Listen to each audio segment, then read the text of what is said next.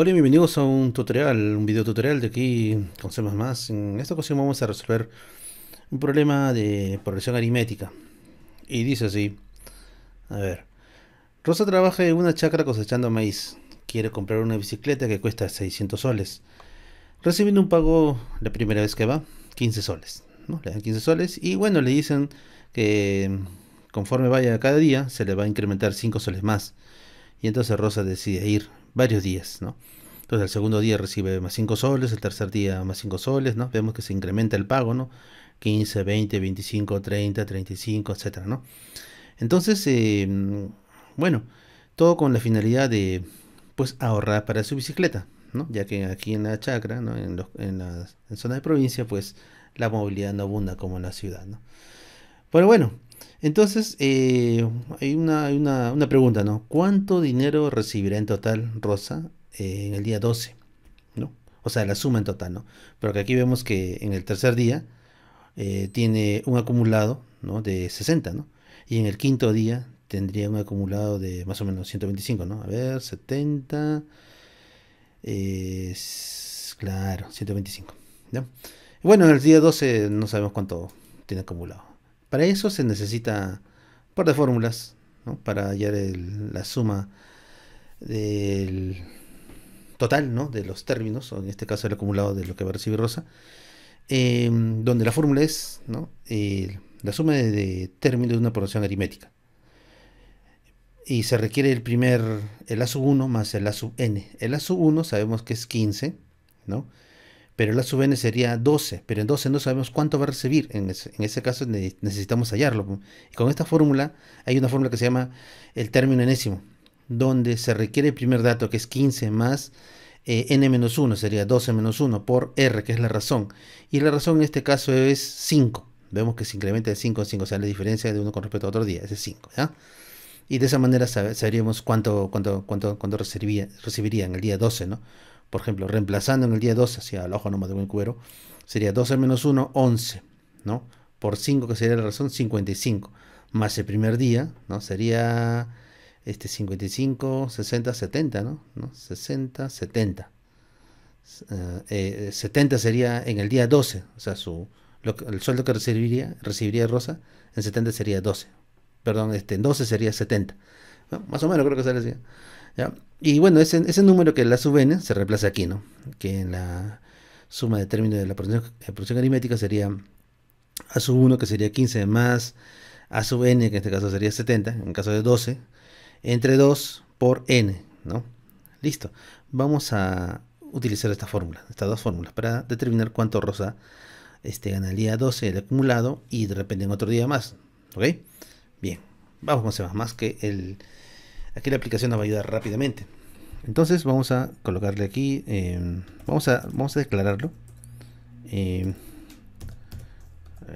vamos a tenerlo listo. Vamos a declarar declaraciones básicas, ¿ya?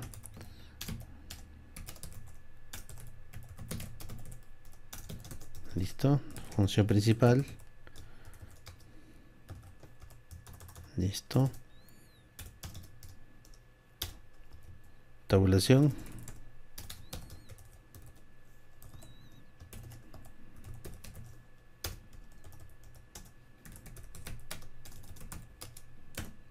Lo tenemos.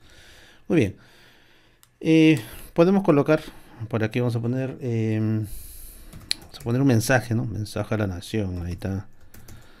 Eh, suma de términos de una progresión aritmética. Así vamos a ponerle suma de términos de una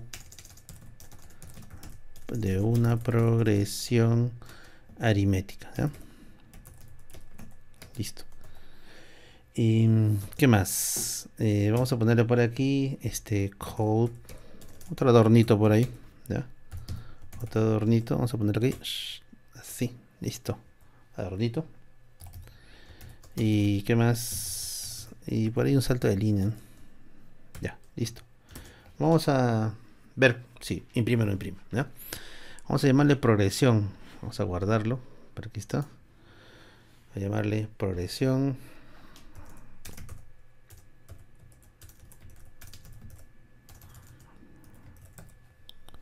Ya lo guardé. Ahí está imprimiendo. Uy, debería, este, este debería imprimir aquí un salto de línea, la siguiente línea, ¿no? Faltó colocar aquí. Entonces vamos a ponerle aquí este, esto de acá.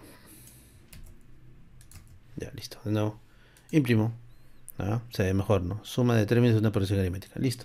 Eh, voy a pedir que ingrese el término de la n, término n de la progresión. Así vamos a ponerlo por aquí.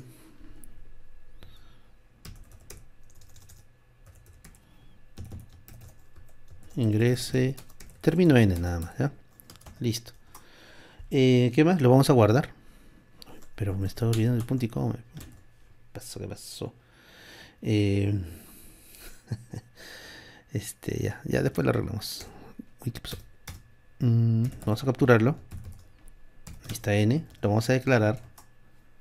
Tipo entero, ¿no? ¿Qué más? Eh, también el costo de la bicicleta, por si acaso, para tenerlo en cuenta. Eh, costo de bicicleta. Bicicleta. Ahí está. Y coma. Vamos a llamarle bici. La bici, ¿cuánto estará? No lo sabemos.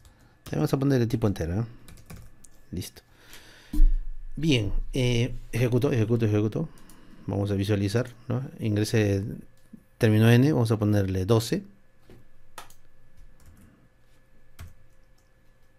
Está. Otro puntito faltaría por ahí. Ingrese de la bicicleta sería 600. Está funcionando. Muy bien. Entonces por aquí vamos a ponerle dos puntitos para que se vea bien. Y aquí la bicicleta también dos puntitos para que se vea bien. Listo. Muy bien, entonces, eh, ¿qué más? Vamos a crear una función, ¿ya? Por aquí arriba. Una función que me va a permitir hallar este, el enésimo término. Yo lo voy a llamar de tipo entero enésimo. ¿Ya? Eh, por referencia viene n. Ya está. Las fórmulas, las fórmulas que voy a utilizar eh, en este caso sería eh, a sub n es igual a a sub 1 más n menos 1. Y eso vamos a colocarlo. Entonces, tal cual, A sub n es igual, a ver qué pasa acá. A sub 1 más sería n menos 1 por r. Listo. Todavía no defino tipo de dato ni nada, ¿no? Así que por ahí lo voy a dejar, tal cual. Eh, S sub n, que sería la suma de términos de la progresión eh, aritmética, aquí sería eh, a sub 1 más a sub n entre 2. Pero esto vamos a poner aquí entre 2. Su punto y coma no me olvido. Por aquí y por acá. Listo. Entre 2 por n me dicen. Por n. Pero todo esto es una hay que respetar la jerarquía, ¿no? Por aquí y por acá. Oh, ¿Tanto? a ver, este, déjame ver, déjame ver. Este es para aquí, este es para acá. Creo que sí. a ver, creo que sí. A ver, déjame, creo que hay uno de más acá. Uno, dos, ahora sí. Sí, había uno de más. Ya está, perfecto. Muy bien, ¿y qué cosa retorna? Pues eso es n. ¿ya? Return n. Listo. Ya está. Entonces, como ya tengo declarado, por aquí vamos a declarar otras más, ¿no? Que es este tipo entero. Y vamos a poner todas ellas de tipo entero. ¿De acuerdo? A n, coma, este... ¿Quién más sería? De tipo entero s sub n. Y, ah, los valores iniciales. En este caso, este r, el, el primer valor es 15. Entonces, Vamos a declarar por aquí el A sub 1, ¿no? De tipo entero A sub 1 igual a 15. Ah, la razón también. Esta R, ¿no? Esta otra, otra, otro elemento que es la razón igual a 5, una constante. ¿ya? Yo, yo, lo voy a declarar directamente, asignándole a la asignación. Ya, entonces, y por aquí lo vamos a llamar a la función. ¿no? Entonces vamos a imprimir. Eh, monto acumulado monto acumulado aquí de pues la función enésimo lo que acabo de declarar. Ya está. Y por aquí sería un salto de línea y tururú. Ya debe funcionar vamos a ver si funciona hacer esto un poquito más arriba para que se vea bien y está por acá y está por acá ya listo para que no estén tan solos Voy a compilar. Uy, me dice que hay un error. SN. SN. ¿Qué es acá? Falta un paréntesis. A ver, abre, cierra. Esto está de más, pues. Esto está de más. Ya está. A ver. Y listo. Ahí está funcionando. Qué bonito. A ver, ¿se incrementa? Creo que sí se amplía. Eh, voy a probar primero con este ejemplo. Eh, para el número 5, eh, vamos a ver. Aquí 3, el acumulado sería 15, 25, 45. Ya, a ver, 60. ¿No? Entonces vamos a ver si funciona con, con estos datos básicos. 3 pongo. La bicicleta vale 600 y el monto acumulado es 60. Si está funcionando. Y si quiero saber el monto acumulado, eh, acumulado, ¿no? Eh, lo que va a ganar eh, Rosa en total, le agregaríamos ese 60 más 65, sería en total en 5 días 100, 125. Vamos a ver si es cierto. Entonces, mi aplicación aquí, ejecuto 5 días, la bicicleta de 600, ahorita lo vamos a utilizar. Y ahí tiene, 125. Bien, entonces, este, pero Rosa ya sabe cuánto va a ganar, pero también la aplicación quiere ayudarle a determinar si efectivamente, ¿no? Si efectivamente, este, digamos que, a ver, eh, le alcanza para comprar su bicicleta. Claro, hay que saber, bueno, si le alcanzará o no le alcanzará, ¿ya? Y para eso necesitamos saber el saldo, pues el saldo, ¿no? Entonces, pero antes de, antes, antes de continuar, vamos a ver si cuánto gana en el día 12, porque aquí en el problema me dicen cuánto dinero recibirá en total el día 12. Vamos a ver el día 12, ¿ya? Entonces, eh, voy a ponerle por aquí día 12, 600, 504. 504. Me parece que no es 504. Claro, por fórmula, vamos a, vamos a ver por fórmula, ¿ya? A ver, vamos a ver. Eh, veamos, por fórmula. A ver, reemplacemos, ¿ya? Entonces, eh, si el primero A sub 1 vale 15, ¿no? El término que me pide es 12 y la razón es 5. Entonces reemplacemos, ¿ya? Para A sub n, eh, quiero saber cuánto va a ganar, ¿no? Entonces, por fórmula sería, por acá tengo mi calculadora calculadora. Aquí está mi calculadora. Vamos a ver. Eh, para hacerlo rápido. Eh, aquí restamos primero. n menos 1 sería 12 menos 1, 11. Por 5, 55. 55 más a sub 1, 55 más a, más a sub 1 es 70. Eh, ¿No? 70. A sub n vale 70. Estamos en el término 12. Entonces, tenemos aquí a sub 1 que vale 15 más 70. Vamos a ver acá, este en decimal.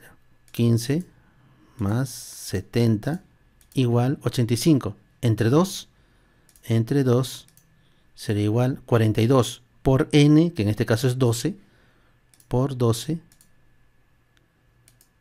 504. 504. Esa es la respuesta. Y eso es lo que me está saliendo. 504. Pero hay un detalle. Hay un detalle. Resulta que yo sé que A sub n vale 70, ¿no? 70, aquí está mi 70. Más 15 es 85. Entre 2 es 42.5. Por 12, que es el, término correspondiente a la posición, por 12 es 510 la respuesta exacta. Y mi aplicación me está votando 504. ¿Ya? Está tomando en cuenta el decimal y vemos que hay una diferencia. Vamos a corregir. Debe ser por el tipo de dato. Para que me salga 510 exactamente. ¿Ok? Y esto por acá. Y vamos a colocar por aquí la respuesta correcta. Ajustamos. Como todo, todo está como entero, aquí este a sub n vamos a cambiarlo de tipo de dato vamos a ponerle de tipo double porque yo necesito que me bote el decimal veamos eh, término 12 bicicleta 600 ahí está 510 es el acumulado ahora sí funciona. Es el acumulado el que va a recibir. ¿De acuerdo? Entonces, ya teniéndolo, teniéndolo más claro, ahora eh, lo único que tendríamos que hacer es eh, saber este eh, si a Rosa ¿no? le va, cuánto saldo, cuánto, cuánto, si le va a alcanzar, no, no, le va a alcanzar. Pues. Entonces, por aquí vamos a colocarle una resta ¿no? para el saldo. ¿no? Okay, vamos a poner aquí code, así,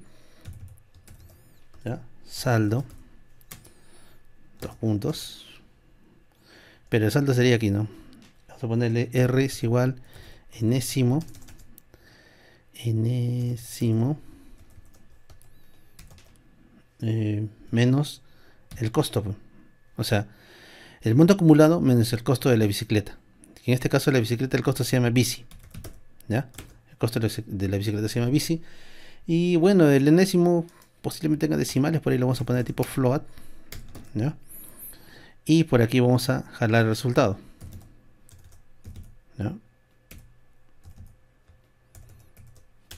y lo vamos a imprimir ya está entonces vamos a ejecutar nuevamente a ver vamos a ver si a Rosa trabajando 12 días ya donde la bicicleta vale 600 le alcanza eh, acumulado 510 y bueno vemos que le falta 90 90 le falta. Entonces, vamos a poner otro número. ¿no? De repente Rosa necesita trabajar un par de días más. Vamos a ponerle con 14 días. Por aquí 14 días. Bicicleta 600. Acumulado 665 y vemos que tiene un saldo de 65. O sea que ya le alcanza con 14 días. ¿Y qué pasaría si Rosa ve que, bueno, puede ahorrar algo, ¿no? Vamos a ver. Eh, pone a chamber 20 días a trabajar. Entonces por aquí, aquí en Perú chamber es trabajar. Chamber significa trabajar. Ya, 20 días. Eh, costo sería 600. Em, y el acumulado, bueno, vemos que es 1250. Y les tiene un saldo de 650. O sea que ya ganó, pues, ya alcanzó la bicicleta y encima salió ganando. O sea, lo recomendable es que trabaje 20 días. bueno, veo que funciona la aplicación. Hemos resuelto ahora, eh, hemos resuelto, hemos resuelto programación aritmética, este ejercicio que está aquí y aplicando estas fórmulas, ambas fórmulas que es el término enésimo y la suma del término de una producción aritmética, utilizando C++. Bueno, eso sería todo. Muchas gracias. Gracias por su atención. Cuídense mucho. Que Dios les bendiga. Hasta pronto. Chao.